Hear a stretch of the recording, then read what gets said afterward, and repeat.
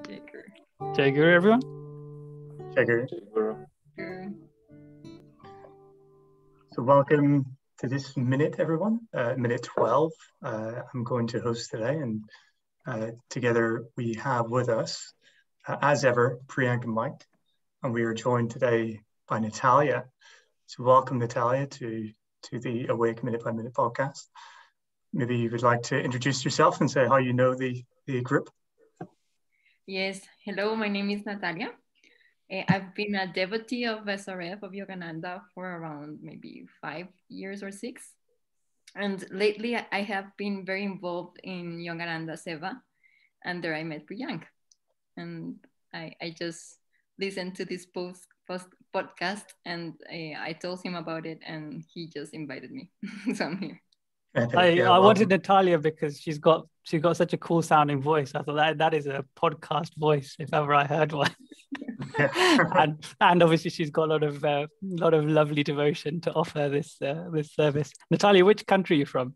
I'm from Colombia in South America.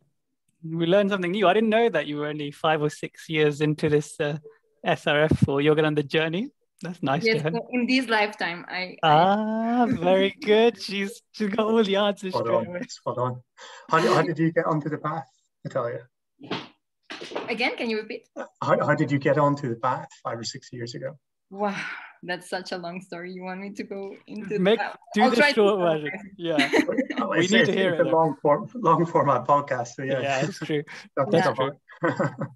So there was a moment in my life that I just had these big questions of purpose of life and who was I really. Eh, I didn't identify myself as I'm the daughter of my mom and my dad or this professional who's a lawyer. I, I had a deeper questions of who was I and what was the purpose of my life. And um, I was desperately looking for the real unconditional love and I couldn't find it anywhere. So um, I started this journey um, starting with books. Um, I don't know if you guys have heard of A Course in Miracles. No. no, no. Mike is nodding like a yes. so yeah, I've heard it, but I don't know much about it. Yeah, it's a book that it, it's said to be Jesus, like transmitted it to a psychiatrist in New York and it's a very beautiful book and i th- that's how i started my my spiritual like i've always been very catholic and devotional and i've felt very close to jesus to virgin mary to the angels to whatever. But i was always through the catholic path and at some point i just felt i needed more answers or i needed to feel a love that i was not finding through the catholic path. I, I still respect it. I, I completely respect whoever is Catholic. My mom is a devoted Catholic, and Same here. I completely understand that. But um, I don't know. I was craving for some love that I was not finding, and at some point, I went to a place in Big Sur, California, and, and it's mm-hmm. a holistic place, and it has wonderful nature. Um, there's it has hot springs. It has um, a cliff. You can see all the sea and all the sunsets. And that was a profounding healing place for me. And there I met a woman who was called Gangaji. And um, she is a spiritual teacher from California. And she comes from the lineage. I, I wouldn't call it a lineage, but because some people don't say there's a lineage, but from the same line at least of uh, Ramana Maharshi. And in her presence, I could sense what I was looking for. I could sense uh, an unconditional love, a deep peace, deep peace, and uh, that really struck me and, and, made me feel like this is what is meant life to be. So I, I hmm. just want to go for that, and I started a spiritual search very intensely for many years. And at some point, I was completely lost.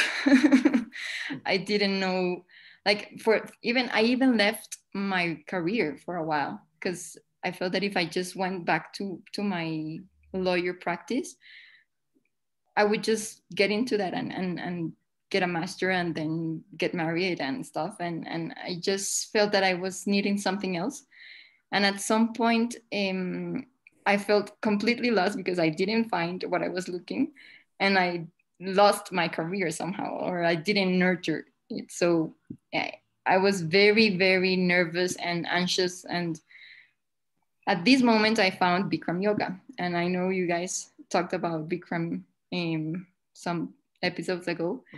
And um, for me, it was my lifesaver at the time. It helped me a lot. Like, as I said, my mind was very anxious at that time. Like, I was trying to to find God, but I couldn't find Him. Uh, and at the same time, I was not in a material materialistic um, like level. Like in the material world, I was also not grounded. So, and the Bikram yoga started to calm me down a lot. Um, I could sense a sense of purpose after every Bikram class and a sense of strong willpower and confidence. And that kept me going. So after a while, I decided even to become a teacher of Bikram yoga. And um, I remember in every of Bikram's uh, lectures, he had a, a, picture of Master and a picture of Vishnu Ghosh. Mm-hmm. And um, of course, like I could sense there was something very devotional and there was something that attracted me, but I could also sense the dark part of the Bikram yoga that something was not completely on and um, but the thing is that I got I got the autobiography of a yogi in the Bikram yoga training, and uh, when I read it, I just felt it, like Master was like his his life life path was similar to some of my journeys. Like he was looking for something, and I, it, it was a sensation like oh finally someone gets what I'm going through, like mm. this spiritual quest that no one understands I couldn't verbalize it to almost no one. Like my family was somehow supportive, but at the same time they were like, "What are you doing?" and yeah. um, my friends too. Like I, they never said anything, but you could sense it in in the in the energy. And um, when I read the autobiography, it was such a relief. Like it was like, "Oh my god, I'm not crazy." Mm-hmm. like uh, this makes sense at some level. Yeah. And um, yeah and i remember like when i when i saw the figure of sri yukteswar and how he he taught master to still be spiritual and he understood his spiritual inquiries and quests but at the same time he helped him in this in the material world like go mm-hmm. and get go and go to your family go back and get a university degree all those stuff and i felt like oh my god i need that Sri Yukteswar in my life so um, yeah, so that's the summary of, of how it happened. Like then after some time, I went to the Bogota's meditation center, and uh, oh, I felt so much peace immediately. I like to my bones. I could feel the peace of the mm. place, and I could I I could go in in into deep meditation without having any technique. It's very mm. natural, and um, I don't know. I just sense like this is my place, and and since then I mm-hmm. never stopped. Mm-hmm. You're, you're home. You arrived home. It's funny, you, you know, you, you made your the comment about your friends and families kind of thinking you know you've gone crazy or something like uh, from, from the outside in it's like a some form of a breakdown of sorts but really it's a breakthrough for me you know this kind of becoming mm. um, having the thirst you know your your outside world can break down very quickly that's yeah. really giving space for something new to grow. You know, I, I, I experienced that myself, so I can really relate relate to your story, Talia. So thanks thanks for sharing. That's awesome. So you got onto the uh, autobiography through through Bikram, uh, yeah. but how, did, how did you? When was the first time you saw the movie Awake? the other day I was thinking about this and I the first time I remember seeing it was in a theater in Bogota, like when they publicly presented. I don't remember if I saw it before privately, but that's mm-hmm. that's the first memory I have. And I remember mm-hmm. crying like a baby. yeah. And there was someone at my side and she looked at me like, what's going on? and I cried and I cried. awesome. And so sorry, where are you now? I, I I'm in Colombia. You're in Colombia. Awesome. It looks so sunny out there. I'm, I'm Yeah, sitting here coming up to summer and it's just pouring with rain in Northern Ireland. Oh, that's so awesome. Oh wow! oh, that's Look at that. beautiful. Natalia showing a beautiful view of the uh, uh, little street or big street actually. Yeah, yeah, yeah. If you get a chance to see that on the, on YouTube or something, check, check it out. You get transported into a different world right now. It's you know, I, I I live in Ireland, by the way, Natalia, so they, they call it the Emerald Isle because it rains all the time. So it's always green. Oh, really? so yeah, Well, thanks, that thanks for showing me some blue sky. Yeah, yeah. Mm. Well, swings and roundabouts. But like, thank, thanks, thanks for joining. That's awesome uh, for sharing your your story and and um, really, you know, this this minute um, it transfers over from the last minute, so we can we can jump into the the analysis of it um, because we we have so much to talk about really in this minute, and really, uh, it, it's it, it's it's a minute that really delves into the, the story of Yogananda and how he transitioned into uh, the full SRF uh, organization and foundation. Um, so let's let's begin, shall we? So we, we start the minute off uh, with a image of uh, Anand Mehrotra. And um, so Anand Mehrotra, uh, I can kind of quickly uh, say who he is. I think it's the first time, correct me if I'm wrong, guys, yeah, um, that he's been in the, the film, right? So yeah. yeah, a, a quick search, you know, you'll find a pretty impressive Instagram presence. Uh, so he's got a few different bits and pieces going on for sure, and it looks quite um, quite successful. So he's uh, as, as described in his Instagram, a Himalayan master, a yoga pedantic pioneer, uh, and he's an author as well of a, of a book or two. And he's the founder of Sattva Yoga Academy and Sattva Yoga itself. So go check him out if uh, if you wish uh, on on Instagram, the Anand Mehrotra. So uh, Anand Mehrotra here, he uh, says, "It's scary to the mind. I think the first thing said, and this is a said with a sharp breath in, oh my God." And this is really referring to the prior minute uh, where Yogananda had visions during his meditation of seeing America. And this was uh, Anand's response to how Yogananda must have felt. So it's quite scary to the mind and, and uh, oh my God, uh, what's, what's going to happen? What's going to become of me? Um, so Yogananda did express some, uh, I, I, don't know, how would you say it? some, he was a bit reserved about going to the, going to the America. He, he, quite, he seemed quite happy to stay in India at the time. But uh, we've reflected something of, uh, you've reflected on this somewhat in the previous minute, but Natalia, I'll go to you. What, what's your what's your reflections on this comment? Do you think Yogananda was scared? Do you think he was saying, "Oh my God," you know, uh, in his in his visions of seeing America?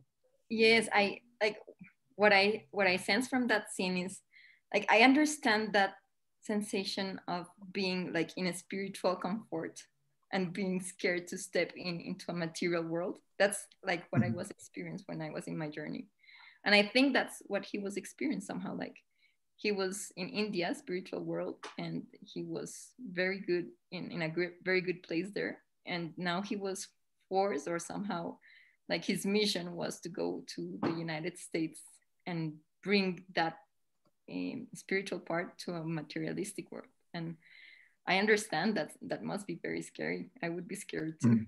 Mm. yeah quite the responsibility isn't it?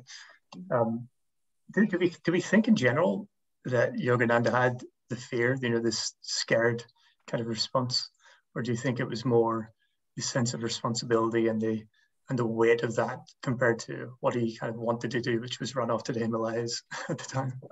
I would see it more like a resistance, like, oh my God, do I really need to do this? Like, really? that that that is my my perception of. It's not mm-hmm. scared. I I don't think that Yogananda was a fearful person. He was he was a warrior, right? Yeah, and well, in the autobiography, we we know the story that he prayed until he got Babaji's reaffirmation. No, so I feel it was more that like he wanted to make sure he was doing the right thing and it was really his mission. He was not making it up in his mind. And um, I, I think it was more that like he, he didn't want to lose and that's I, I can really identify with that because in my journey, I, I think I I was in some moment in a place where I, I have built like a spiritual treasure and I was so scared to step in into the world and lose it. And so I don't know, maybe at some level Yogananda had something similar. Like he had his material treasure and he didn't didn't want to go to a materialistic world that would not understand him, that um, might make him lose this connection, this deep connection yeah. to, to the divine. That's a, that's a really good insight, actually, because Yogananda talks about that a lot, doesn't he? That your environment can count for more than your will. Yeah. Right. Even at times it's so powerful. Like you, you have to be really careful who you surround yourself and associate yourself with. So he's going from the spiritual land of India to kind of seeing, you know, all these images of people in the in America. And it's very materialistic, right? So yeah, you're quite right. I think that's that's a really lovely insight. Mike, Mike Priyank, do you have a any comments on what Anand said? Yeah, I mean, yeah, you also have to see it from his perspective a little bit, right? Like we see him, we read the autobiography and see this impressive life, right? But like life unfolds itself as you go, right? So in the beginning, I mean, he was an avatar. He might have known it all from the beginning, but at least in a kind of human, relatable way, he discovered things one by one, right? So imagine you go, you build up this school, you have those beautiful children, um, in Ranchi, and mm-hmm. and you you you're trying to revolutionize how to how to teach them like teach them spiritual values from the beginning and you probably grow fond of them as well and then here comes divine mother and says now you're going somewhere else now yeah, yeah. so this is like I, I, I can imagine that, that there there must have been some uh, at first some some kind of um, uh, um, what is the right word? Maybe I, I don't think he was anxious, like Natalia said, he was fearless, but he was probably concerned, like what will happen of his work here and everything. Like this is ma- like ma- a massive change in his life, obviously. Mm-hmm. Yeah, agreed. So I think I think he's he's gone to a lot of effort to humanize himself and the other gurus in the um, autobiography. So scary to the mind that's what that's what that means to me so for us we would be anxious scared apprehensive all those all that stuff about such a massive vision or change in your life and he, he he's he's saying he's kind of saying that well it's inspiring that he as a as a guru also went through such things so again i think we've covered this in the past but we should also be a bit easier on ourselves with with uh, with such emotions mm-hmm. as part of this uh, part of this life for us. Yeah, yeah, there's some solace in it for sure. And we, we actually see in the next image of um, uh, of of this minute a really cool picture, uh, and I believe uh, Priyank, you, uh, yes. you can tell us a little bit more about it. Yes, I do. Um, so this it's in it's in the book, the Awake book. So it says it's uh, defined the, pictures of uh, a young Yogananda with a very large group of boys and a few elderly statesman-like people. Um, so so the picture annotation says students and teachers of Brahmacharya Vidyala Kasimbazar Palace, Ranchi, soon after the school was founded. Uh, left to the center is Shastri Mahashaya. Center is the Maharaja, Sri Manindra Chandra Nandi, and he's the patron of the school. And then there's Swami Yogananda.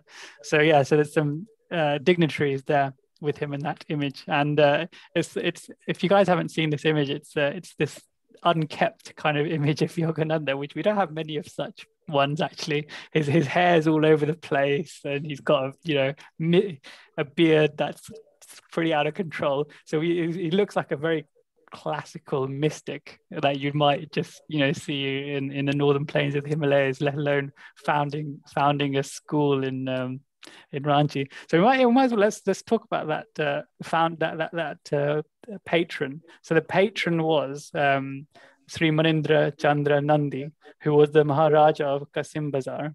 So he was obviously, this is the time where we still had Maharajas or kings, uh, as it were. And he said, um, I was able to transfer my fast growing group to Ranchi, this town to uh, Bihar, about 200 miles from Calcutta. And is blessed with one of the most healthful climates in India. The Kasim Bazar Palace in Ranchi became the main building for the new school, which is called Yogoda Satsang Brahmachari Vidyala, Vidyalaya, Vidyalaya, which means uh, school. Vidya means learning. Avidya is individual delusion. So yeah, Vidya is learning.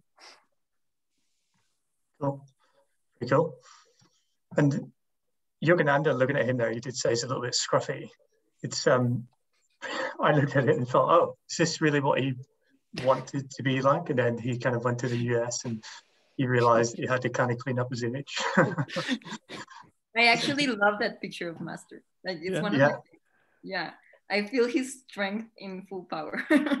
yeah, I actually I actually cropped it out. So for anybody, should I shall I share it online? Yes. And to anybody um, uh, who's who's wanting to to see what we're looking at, here's the picture of Master.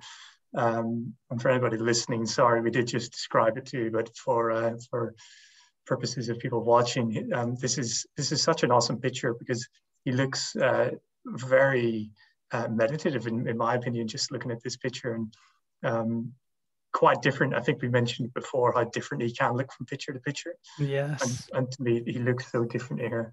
Mm. Uh, you know, with this long flowing hair, uh, you know, in, in full force, and then and then the beard really um, uh, looks quite established there as well. So, so yeah, quite different from the you know having to fit into the to the United States culture. Yeah. It's um, pretty cool. Yeah, awesome. So not awesome. Yeah, we'll we'll uh, continue then. Um, uh, we have uh, scenes of, of Brother uh, Vishwananda, um, and he's you know purposefully walking from scene to scene, and then we kind of follow him through a couple different scenes, uh, and you can hear his his uh, his voice on the voiceover saying, "Imagine in your own life having a message so strong that it totally changes your life in a moment." And uh, this this is him walking through uh, the Yogananda's How to Live school. Uh, and they're very beautiful scenes that we see, very idyllic settings. And um, yeah, uh, Brother Vish- Vishwananda is, like I said, walking very purposefully towards what looks to be a temple. Um, so, so we see him sitting at the edge of this temple, uh, and he, he's um, he's saying, and at this time, he had been here for about three years and probably thought that this was his life's work. And he's referring to Yogananda here. So really takes us back to Yogananda in his in his 20s. I believe this would have been uh, when he had kind of um, really uh, established himself to to what he thought might have thought was his life's work to build these how to live schools. So he's uh, reflecting on this with some fondness. Um, but Brother Vishwananda, Natalia, we, we've mentioned it before, but maybe you can share some of your reflections and, and thoughts on him. Well, the first time I saw him was in the Awake movie, and I instantly feel connected to him. And I remember that the first time I went to Mother Center, I saw him. I, like, I felt like his friend, and I was like going to approach him, and then something stopped me, like, no, maybe you should. and uh, I like I remember that for for a while I thought he was the vice president of SRF and and recently he became and and I said like oh wasn't he right uh-huh. so I, I feel I feel very connected to him I I also st- I remember that I stayed recently in in a devotee's house near near to um, the mother center mm-hmm. and and she could tell me stories of brother Vishwananda and and how he loves Indian food like homemade Indian food. And I don't know, I feel very close to him somehow. Awesome. And um, yeah, I, I, I agree with you. Uh, looking at him, I think he's got a very, he's got a very soulful touch to his voice, very considered, very sort of deep, meaningful eyes. You know, you can you can really sense uh, the peace and stillness within him. I, I, I, love just hearing his voice here, and it, it's it's such a lovely um, setting as well to see him walking through uh, and you can see people turning their heads kind of you know looking at him and, and i imagine it's because of the garb that he's wearing um, uh, which uh, he must stand out um, from the crowds but uh, what, what's what's your take uh, mike uh, and priyank on, on these scenes what did what did you think when you saw them? Uh, it looks a bit like a like a paradise, right?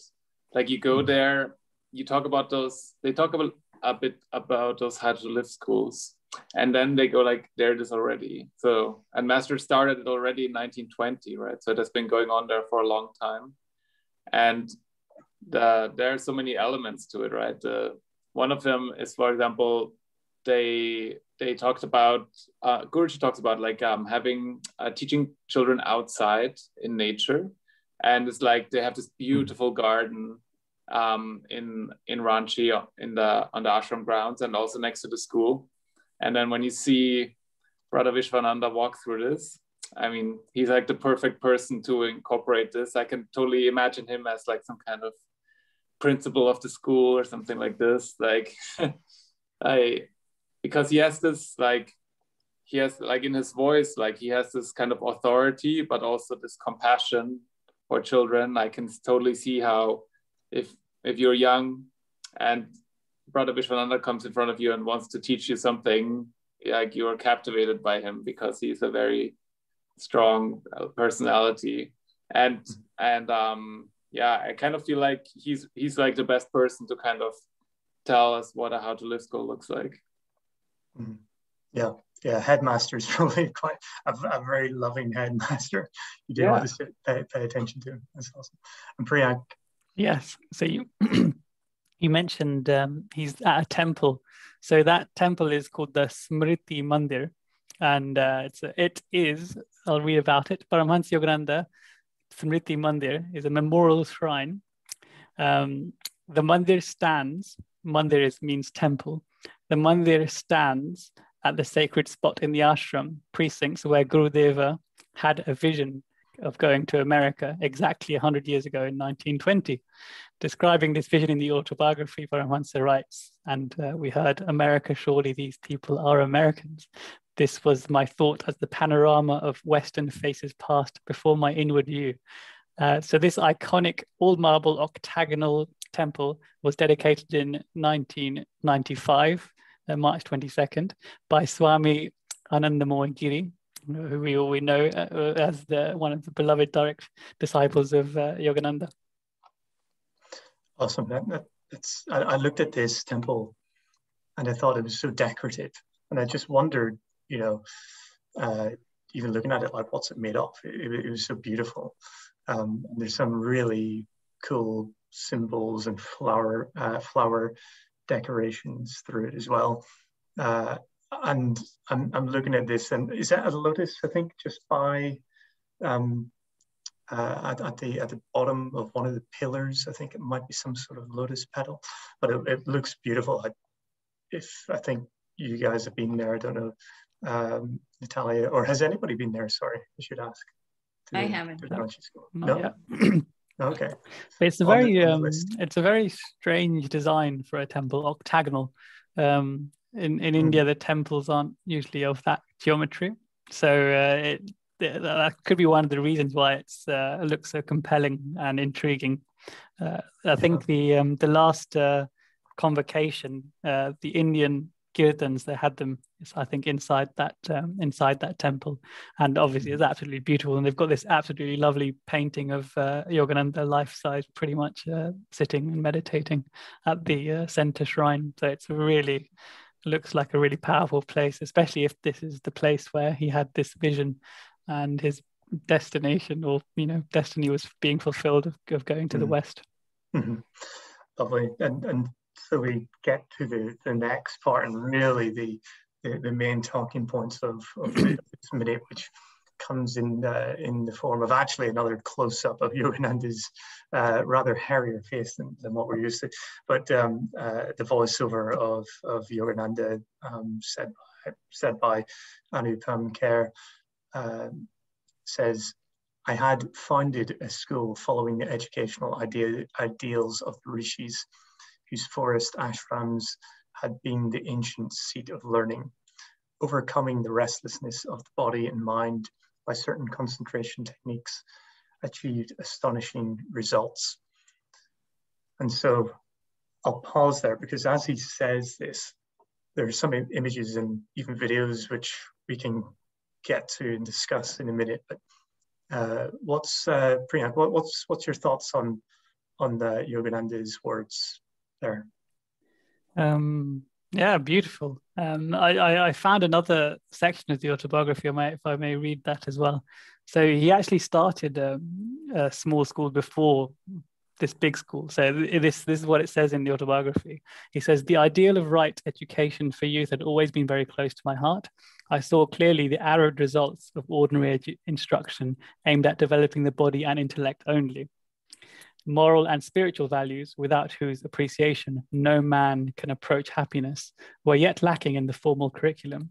I determined to found a school where young boys could develop a full stature of manhood my first step in that direction was made with seven children in, Dihika, a small countryside in Bengal. Uh, can you imagine uh, being one of those seven kids? wow. Um, but yeah, no, I think we we discussed this actually, Mike. I think you were probably there when your sister was there. Um, school the the school in London, if uh, one of our London Centre young adults meetings. Um, yeah. Uh, yeah. So we um, we discussed this and we said um, yeah, one of the things I said was like if you if I remember my education and my life at school, especially when I was that uh, that young, um, then I don't remember the classrooms. Obviously, all phase out, kind of blurry. But I remember distinctly anything nature related that I did.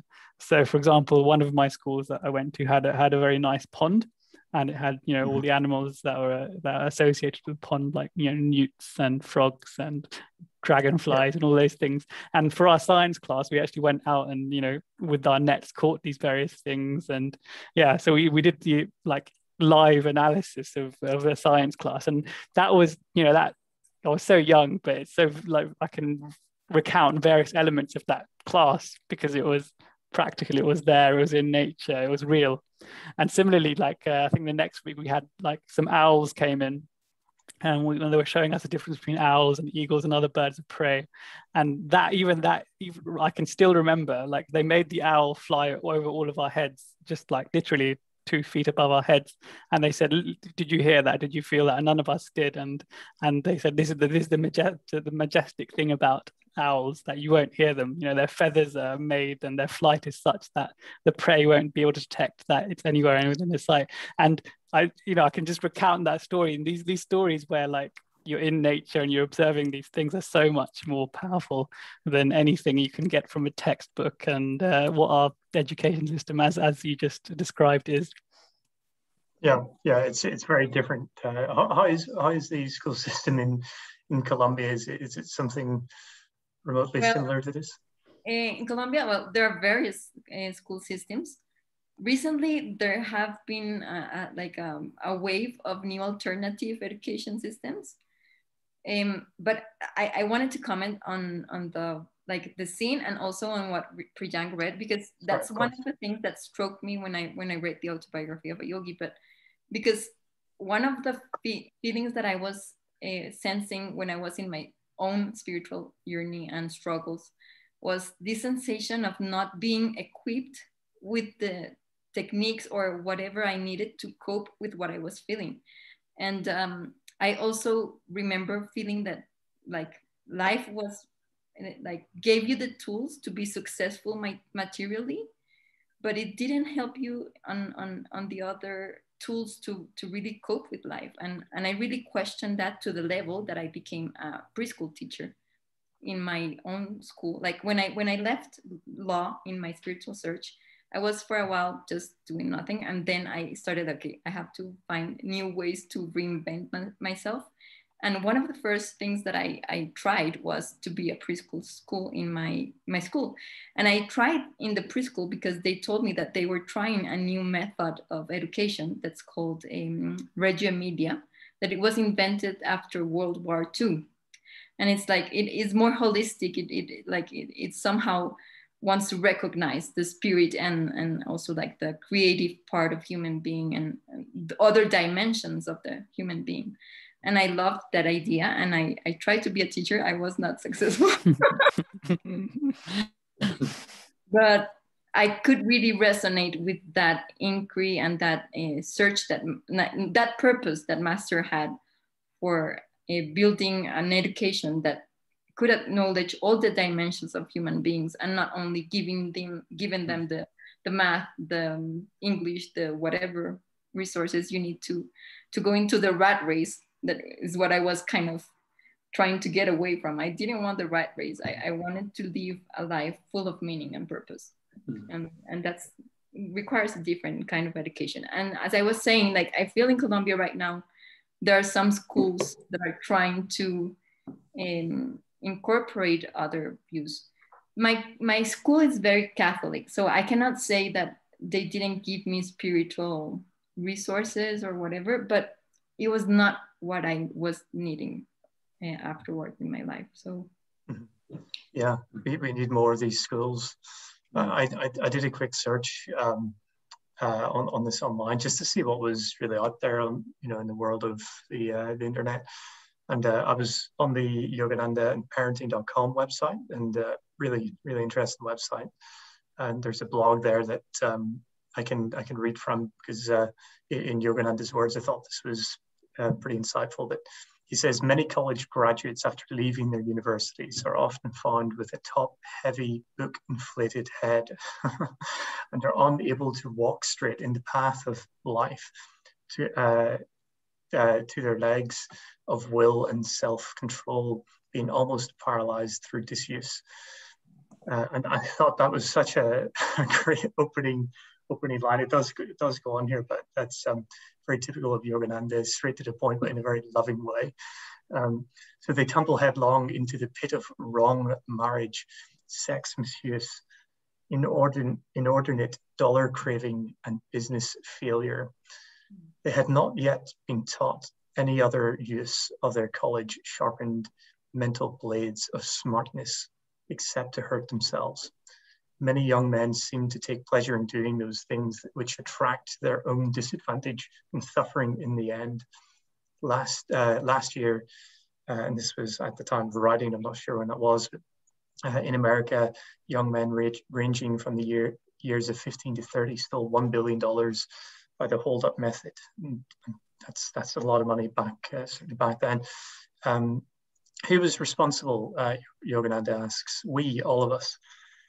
Uh, they are so vicious uh, who do not prevent the spread of vice. Uh, they are also vicious who do not prevent the spread of vice and teach others to be uh, virtuous through their example.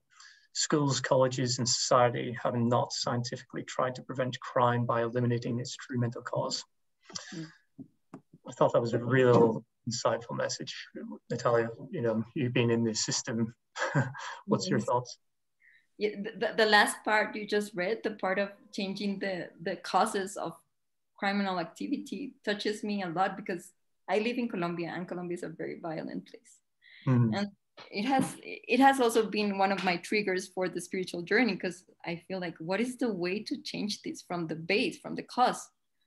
and uh, i do feel that spirituality eh, has a major role in it unfortunately i don't know how to how to give it to the world to these kind of people i for the moment i just pray for them but i have asked myself how i, I even have a friend that has a yoga foundation for for people who are in jails and and, and that kind of stuff and she does a marvelous work, work with that um, mm-hmm. but she's from another a spiritual lineage, so so I, I, haven't been so so involved. And I know a devotee from Yogananda that has something related in the I think in the United States. So it's something that has caught my attention, and and she just read it, and and, and I felt that I wanted to comment on that. Mm-hmm. Oh, that's good. I mean, I, am glad I'm glad you said um, you asked yourself the question of how can you solve it because Yogananda does, you know, he gives a, a, an answer actually in, in, this next paragraph. I'll, I'll quickly read this. Um, I consider properly organized schools as gardens where infant souls are grown and nurtured. The gardens should be well selected and cooperated with by parents and the public. The teachers should never be neglected, for they are soul molder, molders. The care and spiritual nourishment of the early life of a human plant usually determines its later development. And I just thought that that was such an epic uh, insight into what schools really should and could be.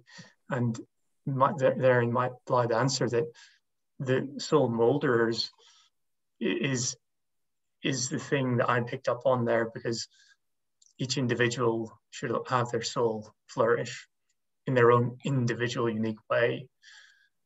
And Yogananda's How to Live schools is is uh, gearing up for that, right? So so we can get delve into in a little bit more detail, but uh, it, it's very very different from the system that we have today, where it's quite a collective system of churning numbers through, and it, it's worked fa fabulously to to some degree. But this is very individual soul molders of, of the individuals. Priyank, uh, Mike, what, what are your comments on that?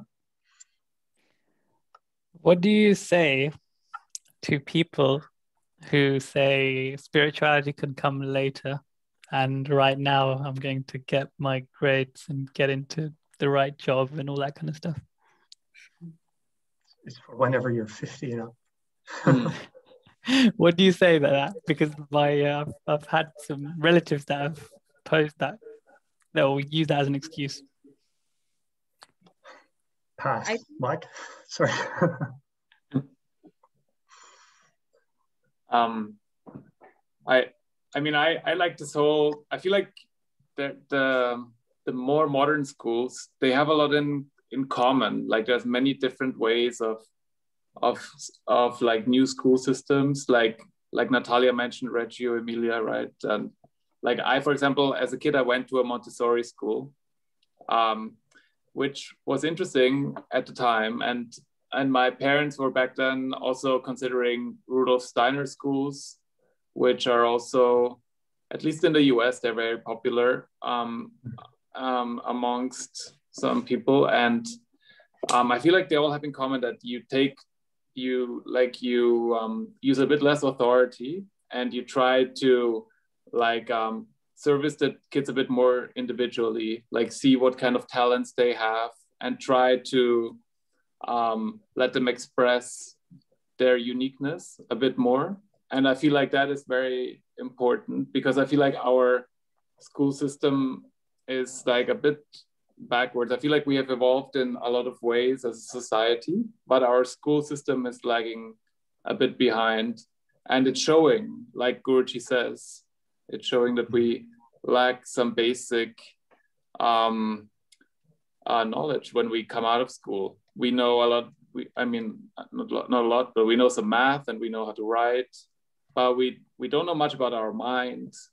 We know basically nothing about spirituality and I feel like we also don't know about how to express ourselves or how to be happy.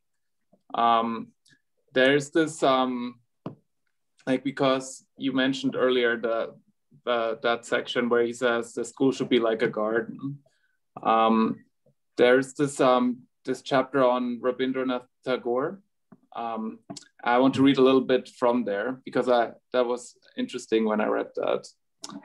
Um, so he was talk he was like talking to Tagore, and he says Tagore told me of his own early educational struggles. That um, he said I fled from school after the fifth grade. He said laughing. I could readily understand how his innate poetic delicacy would be affronted by the dreary disciplinary atmosphere of a schoolroom. That is why I opened Santiniketan under the uh, shady trees and the glories of the sky. He mentioned eloquently to a little group studying in the beautiful garden. A child is in his natural setting amidst the flowers and the songbirds. There he may more easily express the hidden wealth of his individual endowment. True education is not pumped and crammed in from outward sources, but aids in bringing to the surface the infinite hoard of wisdom within. I agreed and added in ordinary schools, the idealistic um, hero worshipping instinct of the young and starved on an exclusive diet of statistics and chronological errors. And um, Guruji goes on like commenting on it, and he says he he um, agrees with Tagore that you need to have more like Tagore. Obviously, he was a poet, he was an artist, so he had a lot of emphasis on art. And Guruji agrees with this. And then he, on top of it, he says that you also need to add spirituality to to the to the mix and this is this is where even our modern schools are still lacking that I, I don't see that anywhere i mean i see like natalia said again like like there are catholic schools and but i don't feel like they have a holistic enough approach. I feel like they use the same approach we use for school proper and just try to pump catholic history into your into your brain into your mi- mind. And i don't see that as beneficial as it could be. So that's why those how to live schools in ranchi are amazing thing. And like mm-hmm. Priyank said being one of those first seven kids that went to Dihika that must have been amazing. Yeah I think the, the closest thing I had to how to live uh, at my school, it was a great, great school. I'm, I'm not here to to run run its name in the ground or anything, but it was home economics, and we we essentially learned how to bake a, or make a cheesecake. That was fantastic. that was that was probably the closest. No, it's um, it, it is amazing how uh, the, the spiritual wealth is quite um, quite lacking in in the sense of education. Um, uh, and my uh, spiritual um, or religious education at my school looked at the differences between the re- religions rather than what, what what is the purpose and crux of religions and the commonality between them. So looking back, it's quite obscene. I think Natalia, like yourself, I, I knew something was up at the time, but I didn't quite have, have the comprehension um, ability to really pick it out. But yeah, I wanted to share something. I remember when I went back to my school to teach, I had a, an interview with the principal who has been like the same principal of my school the whole life. Like she's the iconic figure of my school. And um, I remember telling her that I, I felt that schools needed these yeah, other dimensions of, of, the, of the human being to be incorporated. And mm-hmm. I, I, I didn't know how, how well she digested, but I remember that after maybe three or four years, I met her again and she asked me again, like, what do you, do you still think this? And I also remember having the sensation of like, how can I ask her to give something that maybe she, she doesn't have, like she has not experienced, like she, she's a Catholic, she's a very good person, she's very professional. Like she, I know that from her capacity, she has offered the best school system she, mm-hmm. she, she she's able to so that's where I, I question myself like how can we give an education that's really spiritual? We need we need masters like we need spiritual masters to to build that really. So i wanted to share. Yeah we're, we're coming out of the the last uh you know we're coming into this new uh yuga right? Um sorry i'm, I'm not Treta. end end of the dwapara yuga. Yeah yeah so we're going into Treta yuga. Oh we're going into dwapara yuga no, no, we're in we're in Dwapara Yuga. We're going yeah. into Treta Yuga, the next Yuga. So, yeah. Okay, so we're in yeah. Dwapara Yuga. So this okay. and only for 122 years or so. Is that right, roughly? I can't remember how long yeah, left, but not more. Yeah, give or take. Um, but you know, it, it's there's a transition period, right? And uh, it's it's gotten the West uh, to a pretty good place in material comfort. So um, I think uh, Yogananda was uh, pretty complimentary actually in, in some of the um, texts that I read. So it's it's not to be up too hard on any teachers listening um, to, uh, to to the to the show. But Priyank, maybe you have some stories that uh, you would like to share about this. Yeah, I do. So I was I was churning the autobiography of a yogi, and you know that I, was, I want to share. Let me share a bit more of my own experience. There's yeah. something that the um, US has that the UK doesn't have is the summer camps. Mm-hmm. So you know they have like in the in the summer vacations they they literally send their children for uh so Mike, I think my voice is echoing in your thing. Can you mute? Um, I hear you. Okay. Um, so I was uh, saying, yeah. So they have these summer camps. So they over the summer they would send your, your, your child for three six weeks to you know it'll be in a remote corner of some forest or mountainous area. And I, I actually went and did that as volunteer work for one one summer. And it was really good because everything was as we've just talked about everything was outdoors you know sports activities classrooms you know learning various things like you know wildlife. And it was just and i've actually i've actually done a bit of school you know traditional schooling as well, and it was just so much more engaging to teach in that environment as a teacher than compared to um, compared to you know in the classroom. And also like i actually went the the, the camp i was at was a camp for underprivileged um, children. And and usually with that uh, with that kind of group you have a lot of troublemakers etc but when when when when when they're engaged in um, you know in in something that's interesting and also that is a unique experience because it's not in their usual you know day-to-day life etc they're them that kind of the, that intent that uh, inclination to you know misbehave and be naughty is is like subdued a little bit. And it's, it's so powerful. And it was such a great experience for me to to teach in that environment. And and I've I really even now is like you know I'm probably too old but I really want to go back and do that again because it was so enjoyable. Um yeah so but in terms of Yogananda stories I have a good one. Uh, let me yes. So Yogananda when he was in Ranchi he would do similar things. Uh, he would uh, go out into nature with the boys. So here's a story that he shares in the autobiography. Please do not go into the water. Let us bathe by dipping our buckets. I was addressing the young Ranchi students who were accompanying me on an eight mile hike to the neighboring hill. The pond before us seemed inviting but a distaste for it had arisen in my mind most of the boys began to dip their buckets, but a few lads yielded to the temptation of the cool waters. No sooner had they dived than large snakes wiggled around them. What shrieks and splashes, what comical alacrity in leaving the pond. How cool would that? That's such a cool story, is it? yeah. So, so is he saying here that he had a, a sense, like a, mm. a bit of a fore forewarning somehow intuitively. Definitely, it says that. So the, the words he used, it says, but a, dis, a distaste had for it had arisen in my mind but mm. a distaste. So yeah, no doubt he had a vision of things to come. But also, I've heard that um, yogis and mystics are generally quite adept or in tune with snakes. Mm-hmm.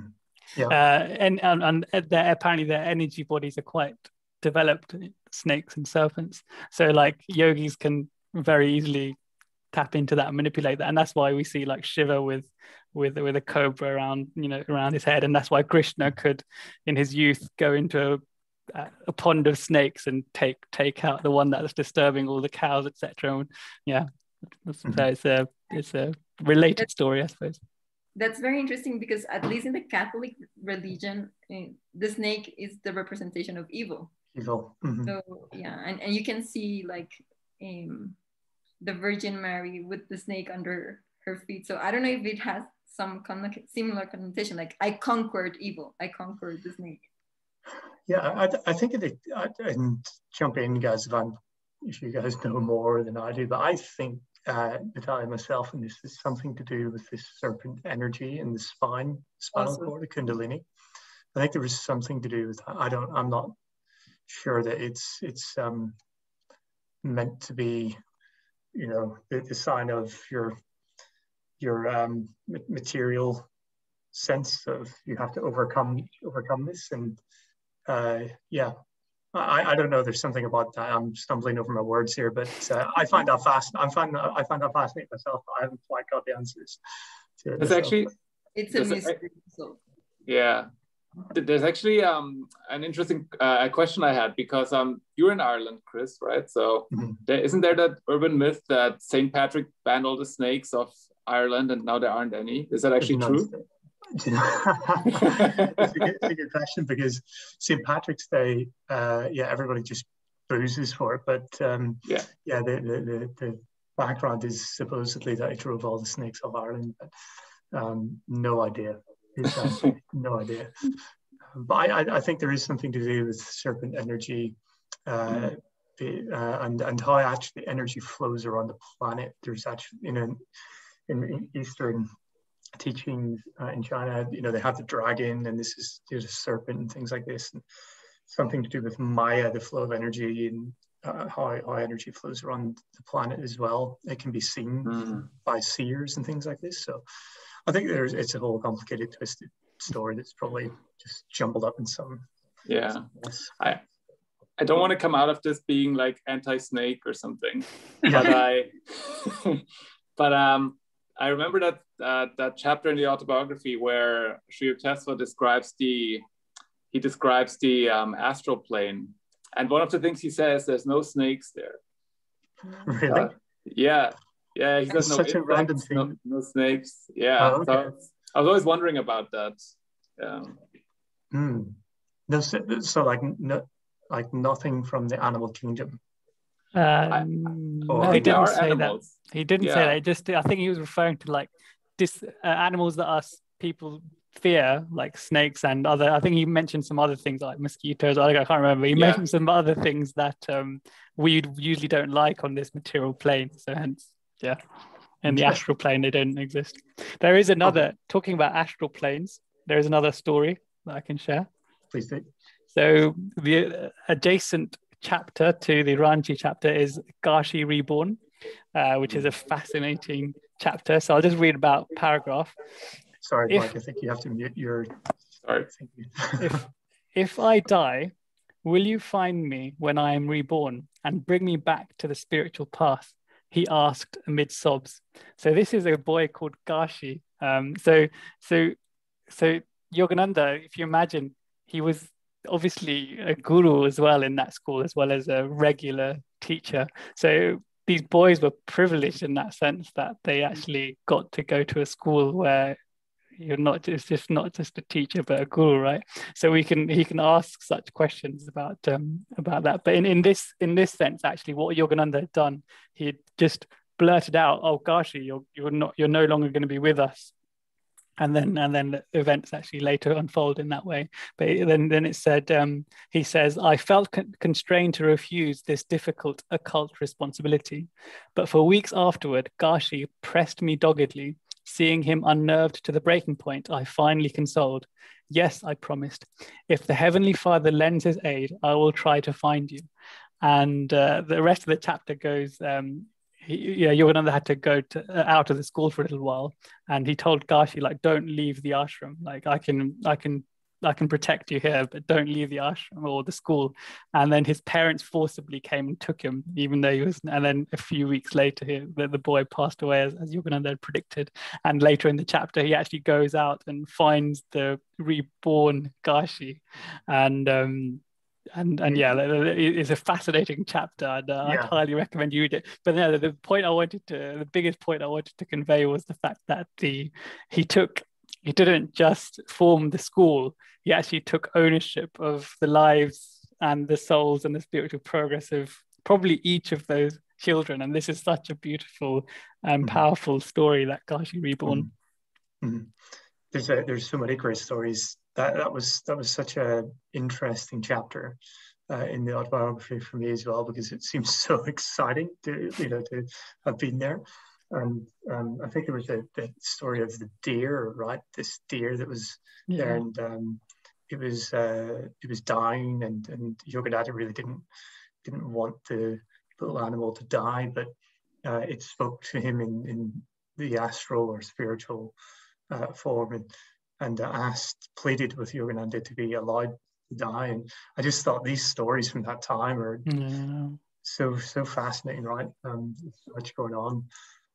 Um, and uh, you know, I, I, wanted actually to touch on uh, j- just um, one thing here that Yogananda really uh, uh, talked about his uh, family having a vision for him to work really in the with the real real roads um, I don't I don't exactly know. Probably as an engineer, was it? Um, but they no, it was, it was like a, a, a superintendent some level. Superintendent. So it was like some middle management position. He actually, yeah. they, his father got him a job as well, and then yeah, he turned it down when he was really annoyed. yeah, and, and he talked about why and and you know the the purpose of having uh, volition, you know, a, a, job or a role in um, in this life that he felt that it was something close to his heart, and he was really deeply into spirituality, and he wasn't really going to get that from working uh, on, on on on the trains as much as he would through the school. So he really followed his own path, and it was something very inspirational, really hearing him talk about it the way he did, because so often you know, as I said before, we kind of jump out of the universities, as, as Yogananda said, and, and run into marriages and jobs and things. And it's like a car crash, kind of this slow car crash, you know, and, and we're still caught up in thinking that this is this is what we should do because it's dictated as society dictates it for us. Um, and it's, there's such a great teaching in there is listen to yourself. And Yogananda says that like, you know, look and observe yourself, analyze yourself and see what you're passionate about because you will have these passions from maybe prior lives that you can nurture these these positive good passions. Um, Priyank, you, you've you've got a book yes. in front of you. So yes, I was just reading the Gita today, yesterday actually. I was doing a live Gita reading, and um, uh, this is a personal one for me because I, we, me, my wife and I don't want children, um, hmm. but obviously we, that doesn't mean that we don't want to serve. Um, but Sri Yukteswar talks about this and this in this chapter, in the chapter preceding the Ranchi chapter as well.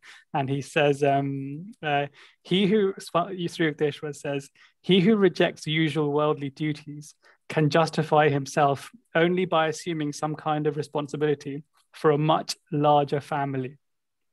Um, which hits uh, a chord for me obviously yeah. because I don't tend to uh, delve into family life much, but that doesn't mean that uh, I get an easy life. And potentially, it's probably mm. going to be more difficult because I won't be restricted to uh, a couple of children that I might have, and there might be a much larger family that I need to take care of. Yeah, yeah. yeah it's funny. sad Sadhguru on the sad note, I keep, you know, I, I do like mention Sadhguru as like, like there's, there's plenty of people on the planet, you know, there's plenty of us. You don't, you don't necessarily need to add. Um, but uh, yeah, cool. Um, I, there was sorry, there was one more thing um, that I did want to say that uh, I thought was quite uh, interesting. Um, that Yogananda had uh, a bit of um, a chip in his shoulder to some degree, and Sri Yukteswar quickly um, quickly uh, fixed that for him. And it's in chapter 27 of of, um, of the autobiography uh, when he was talking about founding the yoga school at Ranchi, and he's asked uh, by Sri Yukteswar here, uh, why are you adverse to organizational work? And Yogananda reflects, uh, Master's question startled me a bit. It's true that my, that my private conviction at the time was that organizations were hornets' nests. It is a thankless task, sir, I answered. No matter what the leader does or does not, he is criticized. And the response came, Do you want the whole divine chana, which is milk curd, for yourself alone? My guru's retort was accompanied by a stern glance. Could you or anyone else achieve God contact through yoga if a line of generous hearted masters had not been willing to convey their knowledge to others? He added, God is the honey, organizations are the hives. Both are necessary any form is useless, of course, without the spirit. But why should you not start busy hives full of spiritual nectar? His counsel moved me deeply. Although I, I made no outward reply, an adamant resolution arose in my breast. I would share my I would share with my fellows so far as lay in my power the unshackling truths I learned at my guru's feet. Lord, I prayed, may thy, lo- may thy love shine forever in the sanctuary of my devotion, and may I be able to awaken that, uh, that love in others' hearts. And it's, it's awesome because from there really is the seed planted for Yogananda to go do his work and organize. Uh, and he does talk about um, when when is man modern man going to organize himself uh, and and carry out his duties in an organized fashion instead of being led astray through through drifting and bad habits etc so really that conversation and that simple question um, from his master really you know spurred such such growth right? So and it's um, what has it, it, it is the reason why we're here if not we weren't here. Yeah. Um, and we're organizing to, to an extent to do this work. So uh, maybe no, we could one of us could have been one of those seven boys in that village. You never know. Yeah. and we failed, hence we're back here. Yeah. oh, quite probably. Um, so cool. Uh, we um, we could probably move on because there's still so much more to, to talk about, right? And um, you know, this is going to be a longer a longer podcast, I think. So um, we, we do see some some images, as I mentioned, probably about half an hour ago now, of uh, yeah, uh, various bits and pieces, and, and there's videos here. Uh, what the first one that we see is the same picture of, at the beginning of the minute. It's a close up of Yogananda, as I said, uh, and this is all being shown as the voiceover of Yogananda's uh, speaking about the astonishing results and uh, through the concentration techniques. Uh, so we see a still image of children uh, in a semi-oval listening to a teacher. And then there's a really cool video, uh, very um, slow, um, low number of frames video uh, of a monk, I believe. Sorry, I'm not sure exactly who that is. Um, uh, and he's teaching the children uh, some yoga or asana uh, postures. Um, and then the final one is there's 30 plus boys all in a room, in quite a small room by the looks of it, um, and, and, they're meditating wearing garms. Um, so we can go into these, but um, uh, I wanted to say, you know, does, does anybody have any comments on, on the semi-oval um, you know, because it's very, very different from what we would have seen maybe pre-Agya reflections. Yeah, so the cool thing about that um, oval thing is it's under a very, very, very nice big shady tree. And this is quite a common sort of scene, I suppose, in in rural India.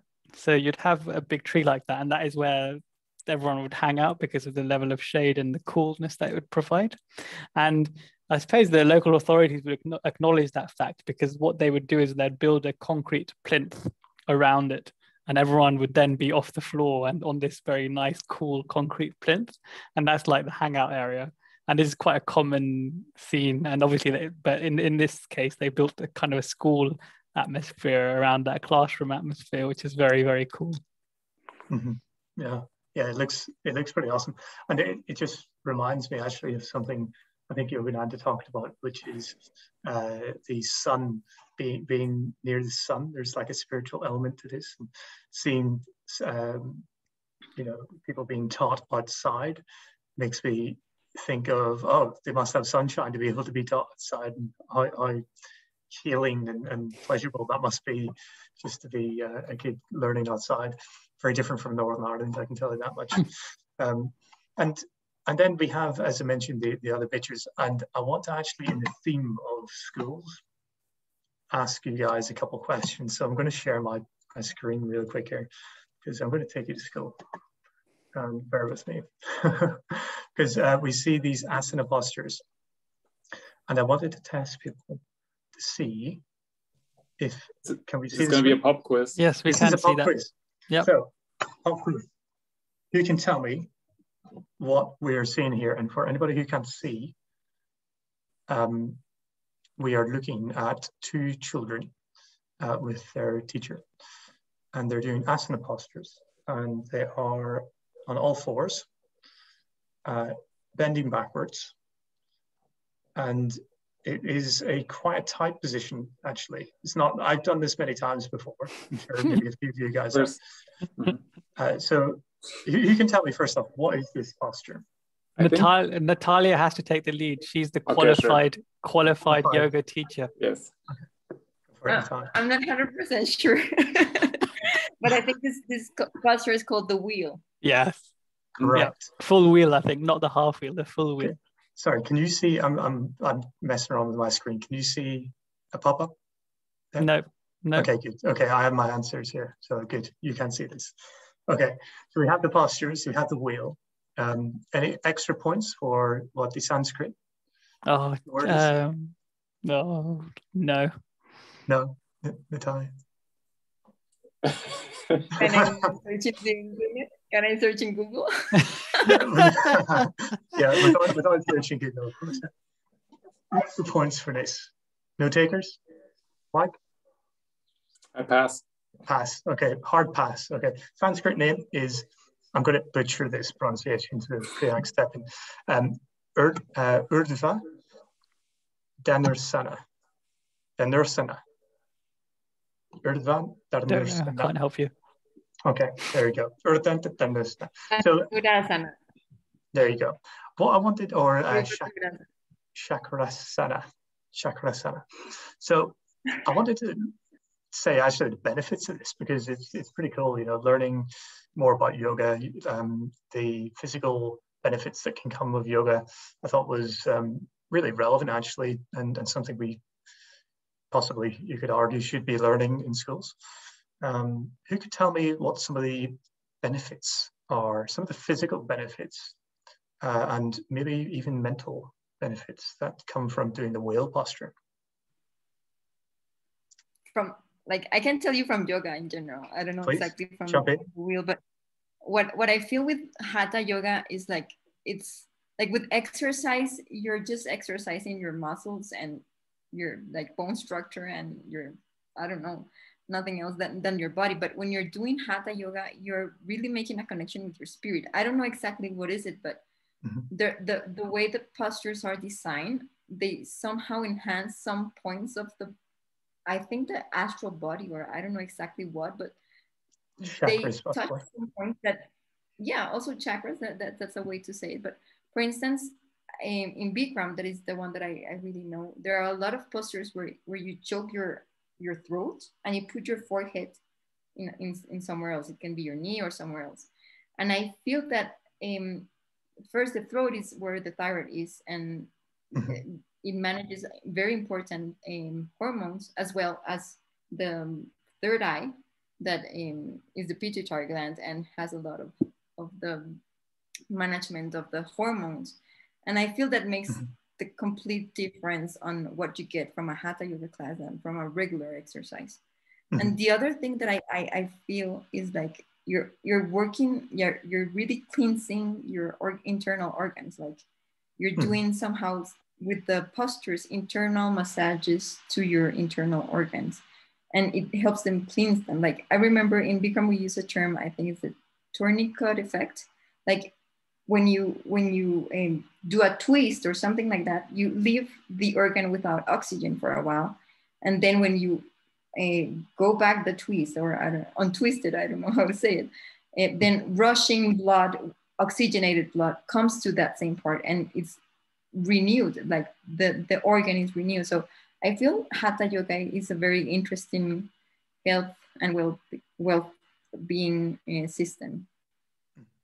That's yeah my, that's my experience you, you, touched on a few points here, and I can say stretches and strengthens is some of the obvious ones. So you could probably see from the picture here, they're stretching their chest and lungs, like opening them up, and their arms and wrists are being strengthened, their legs, buttocks, abdomen, uh, abdomen and spine, right? So the, these are the things that they say from, from, the, from the body. And um, you mentioned there uh, the thyroid. So this apparently is great for the thyroid and pituitary gland and then it increases energy, counteracts depression, therapeutic for asthma, back pain, infertility, and osteoporosis.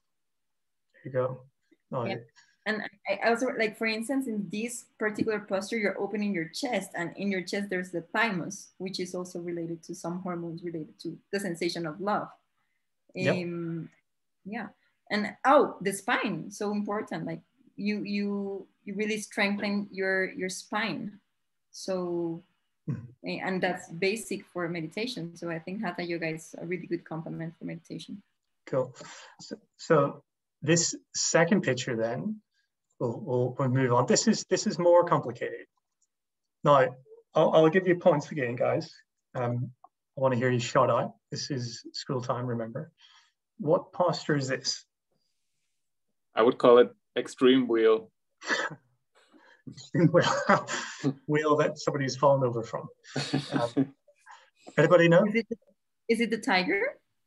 No, not the tiger. Well, so for, for, listeners, um, it, so full, the, full locust. The, full locust. It uh, uh, yes, it is. It is the locust. Yeah, well done. Um, but yes, for the purpose of the listeners, um, what we're seeing is the same two children.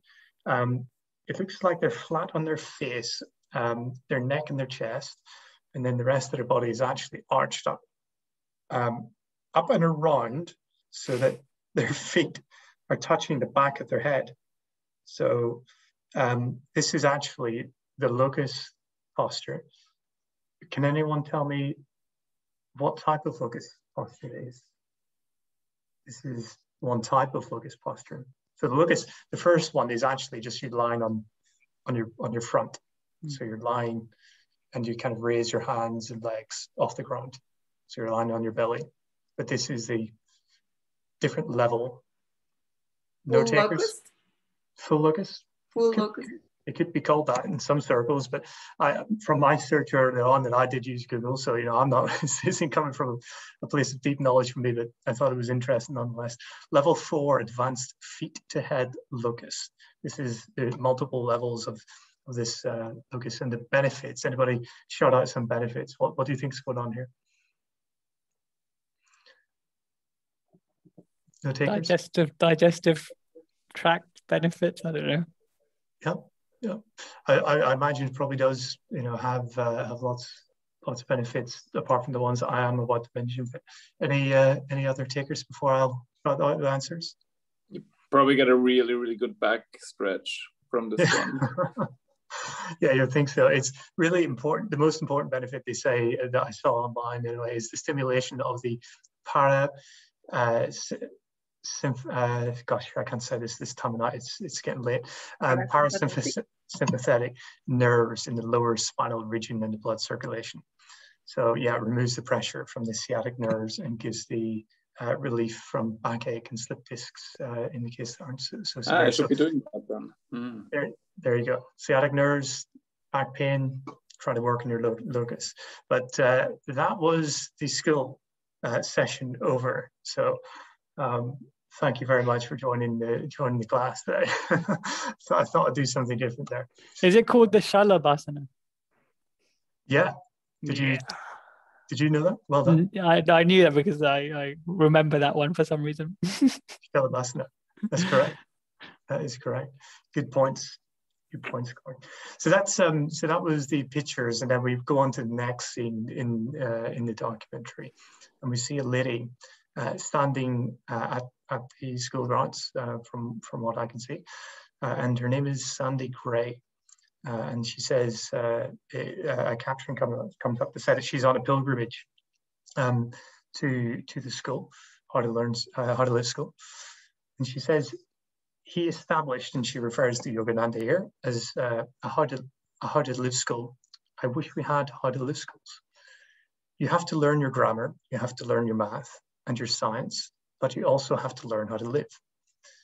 And so, Mike, I think you had a story to share on Sandy. Yeah, I mean, slightly unrelated, but it's related to Sandy Gray because she's a she's a devotee from Boston, and um, so 2020 was the hundred year founding of SRF, the hundred years celebration anniversary of Guruji coming to America, and in anticipation of that, I was thinking I want to go to Boston and I want to see where Guruji went. And um, that was before I found out that SRF had planned so many things for Boston. They they had they had like a whole separate Boston, I wouldn't say convocation, but like a really big event planned for people coming there. They were renovating the center. And anyways, I, I thought I, I should go there. And I went to Boston and I, I met Sandy Gray at the at the Boston Center, and she was so lovely. She was like um, showing us around a bit in in uh, Boston. Like we were very lucky to find her at a time where she was available, and and then also she um, her house where she lives is it used to be Sister Yogamata's house, um, which is um, there is this one story in the autobiography where uh, Guruji, first he doesn't go to Kashmir, then he does go to Kashmir. And I think on the way to Kashmir, I think they find a strawberry vendor on the street. He tries some of them and he goes like, I don't like strawberries. That's not, that's not for me. And then Sri Yukteswar tells him, are you gonna go, I'm not sure if he says America, but you're gonna go to the West, you're gonna have strawberries there and you're gonna say what delicious strawberries. And then he hears that and thinks, yeah, nonsense, or, or whatever he thinks, he, he, he forgets about it. And then um, years later in Boston, he sits there in Sister Yogamata's house and they serve him strawberries with cream and sugar. And he does say, What delicious strawberries. And that moment he remembers being in the coach with uh, Sri Yukteswar. Yeah. Um, and basically, the, I'm telling that story because we were in that house. We were sitting on that table where he was, and wow. yeah, it's yeah. And Sandy Gray is a is a very lovely devotee, and so so glad that I was able to go there and meet her there. And the point she makes in the movie about how to live schools is when we just talked about this, uh, totally spot on. Yeah, yeah. And did you try? Sorry, did you try strawberries? She did serve us strawberries with cream and sugar, of course. I think had to be done, right? That is and all I, she eats now. Yeah. Did I say what delicious strawberries? No, I did not, but I thought it. Yeah. yeah. That's epic. Um, so yeah, uh, we'll we'll push on. I think we actually uh, we probably don't have long on the recording of this Zoom session, right? So we're probably going to have to kind of stitch this together somehow um, between one recording and another. Priyank. Hmm. Um, but we'll, shall we continue because I think we have a few. Yeah, yeah, yeah. Well, let's continue. let's good. see what happens. Yeah, let's see what happens. So we, we have uh, Sandy Gray, of course, saying, you know, how to live schools. Like we have to have how to, how to live schools, and she's in these very idyllic settings and um, it looks it looks fantastic. And then uh, the next scene is uh, we see a, a, teacher writing on the chalkboard, uh, uh writing on a blackboard with chalk rather, sorry. Uh, and Yogananda's uh, picture is is above the blackboard, and the, the, the kids are all looking very studious. Um, and I think some of them are just checking out the camera that's there. So they've got one eye on the camera and one one one eye on the on the teacher.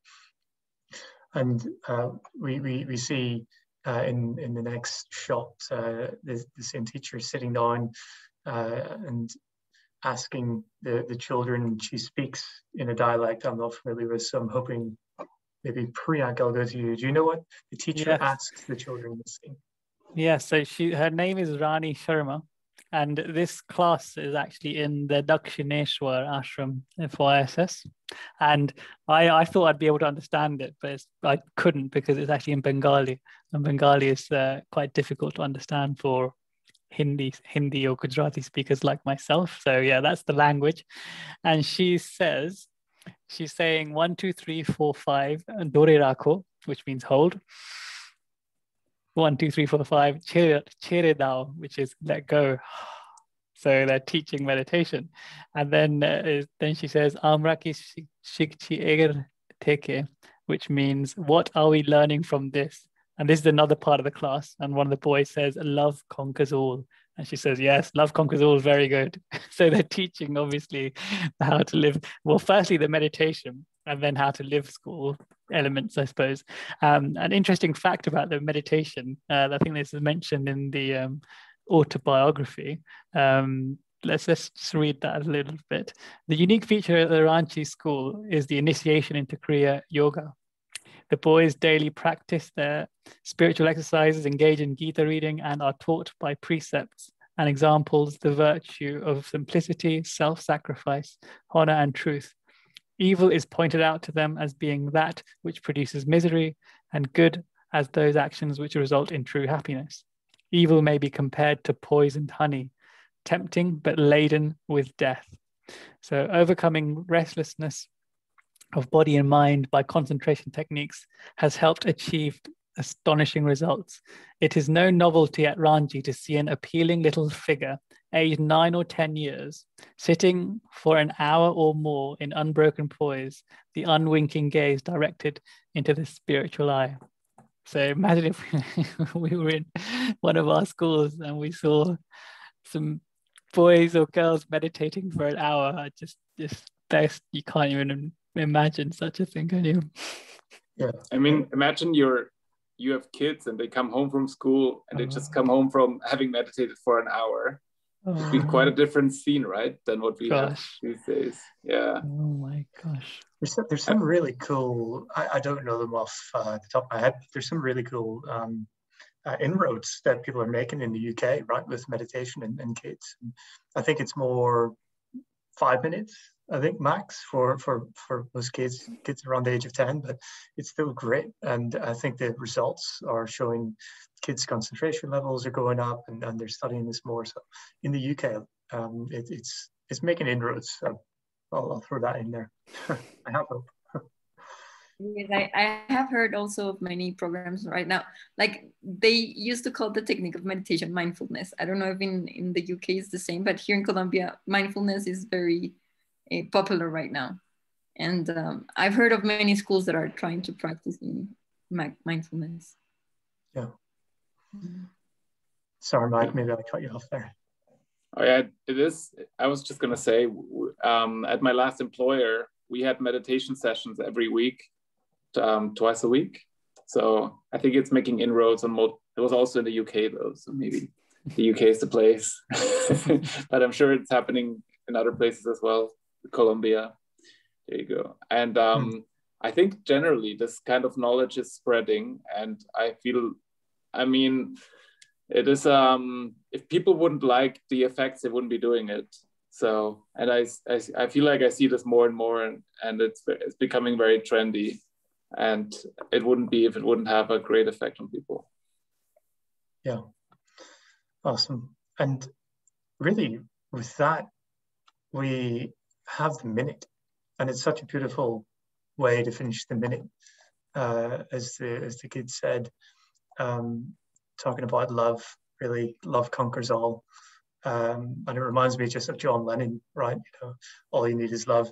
And it, it's such a nice way to end the minute.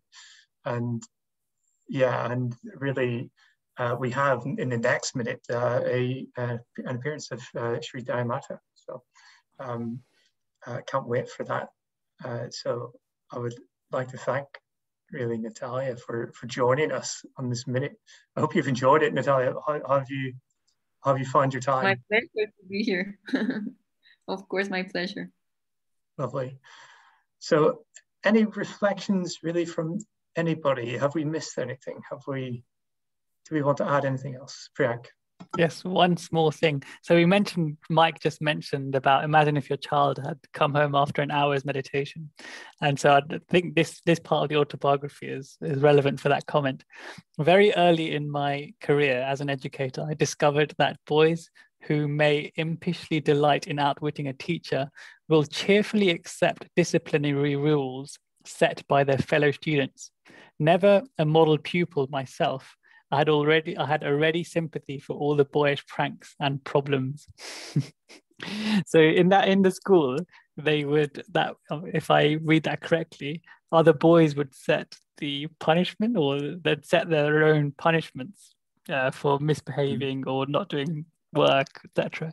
That's pretty cool, isn't it? Rather than the teacher saying, "Do this or else," you're setting your own rules, which is quite an interesting model, isn't it? Using willpower, essentially. yes, and kind of what you were saying, like of, of having an education that is based on on the soul of the individual, like what he needs, what is he feeling, what is he processing. Um, so I think it would be such a different world if we could really establish that. Yeah. Awesome. Well, I think with that, sorry, there's, Mike. There's one more thing I wanted to say because Please. oftentimes we go like, so how do we change our current system to become better?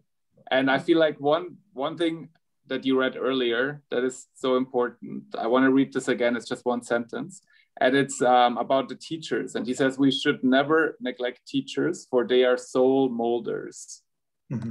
which I find actually any approach of making schools better means like you have to improve the te- you don't have to improve them as people but you have to give them more resources more education and mm-hmm. they're basically the ones who who have so much responsibility like having those young people who just come from the astral plane and teaching them about living mm-hmm.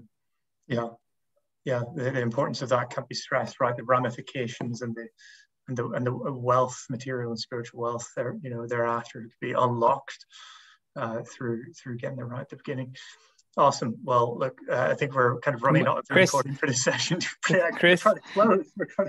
I'm trying. I've got a perfect close because uh, okay. there's one more quote that Natalia is going to read, and then we'll close. Thank you, Priya. Actually, like this quote that you you sent me, um, Bikram's wife, her name is Rajashree, and she had a CD of music and with poems, and she has a song with this poem. So it this reminds my, me. Yeah, my favorite, one of my favorite poems of all so time. Go. Yeah. Where the mind is without fear and the head is held high, where knowledge is free, where the world has not been broken up into fragments by narrow domestic walls, where words come out from the depth truth, where tireless striving stretches its arms towards perfection, where the clear stream of reason has not lost its way into the dreary desert sand of dead habit, where the mind is led forward by thee into every whitening thought and action, into that heaven of freedom, my Father, let my country awake. So beautiful. It's from Rabindranath, Rabindranath Tagore. Rabindranath Tagore. We'll see you next time. Tagore. Thank you so much for your invitation. Pleasure to have you here. Thank you.